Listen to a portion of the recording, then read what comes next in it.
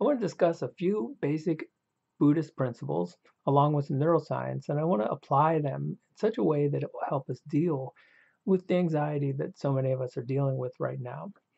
So keep in mind that the Buddha was in many ways the world's first cognitive psychologist.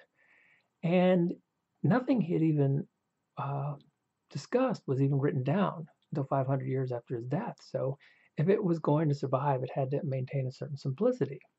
So I won't even talk about the Four Noble Truths. Let's just deal with the first two. And you probably have heard these. The first is usually all life is suffering. And I don't like that particular way of translating it because it's not as relatable to a lot of people these days.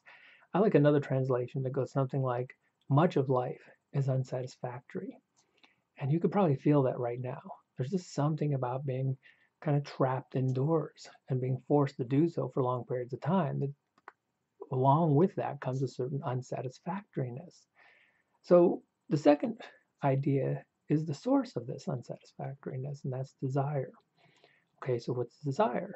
Well, desire is wanting what you don't have and not wanting what you do have.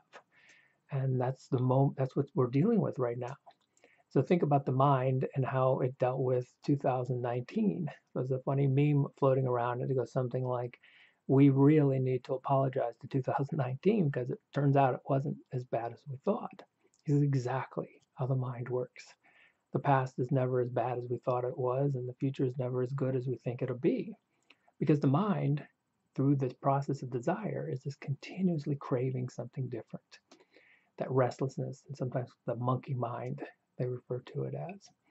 And of course, this is just part of our biological programming that helped our ancestors survive. So, okay, well, if desire is the problem, let's do a real simple exercise. Okay, turn it off.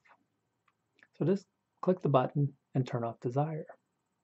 If you do this, everything else should follow and you should be satisfied right now. Well, maybe you've had some luck. Most of us actually have a real problem with this because there's not some clear button to turn off desire. In fact, uh, the best that we can do uh, it does get us deeper because then we desire not to desire. So much of neuroscience right now is trying to convince the world that you are your brain. And this is why people take different drugs because they want to alter brain chemistry because if they alter brain chemistry, they alter who they are and they change their experience.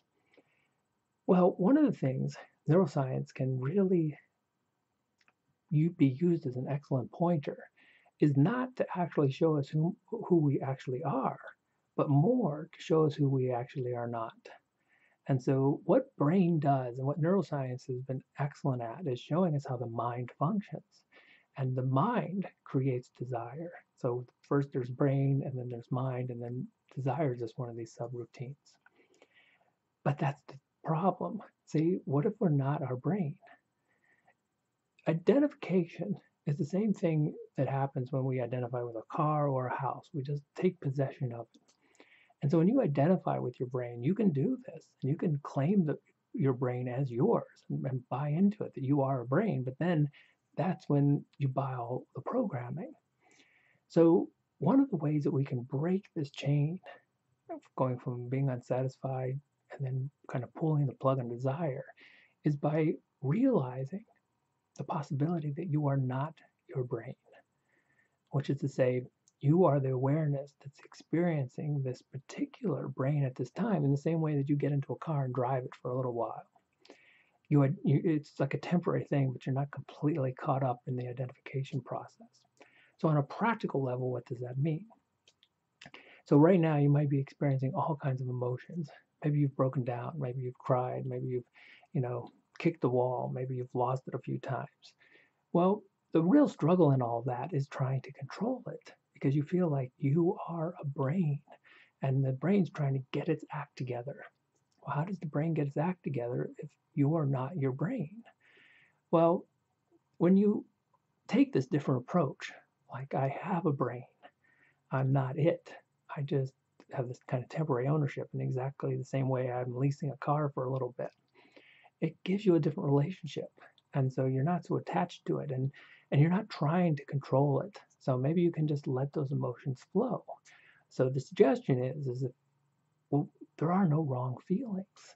So if the brain melts down, let the brain melt down. And you know, if the brain is having a horrible mood, if the brain is anxious, let the brain do its thing. That's not who you are.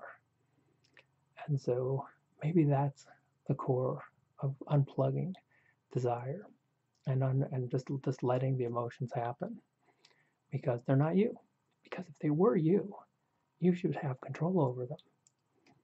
So something to ponder.